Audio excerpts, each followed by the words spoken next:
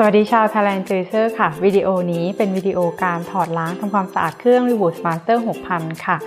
หลังจากเราใช้งานเสร็จแล้วนะคะ เรามาดูค่ะว่าการยกไปทำความสะอาดทำยังไงนะคะ นี่นะคะ แล้วก็เปิดฝาออกนะคะ เราก็ยกขึ้นนะคะ แบบนี้ค่ะ แล้วเราก็ไปที่อ่างล้างจานได้เลยค่ะ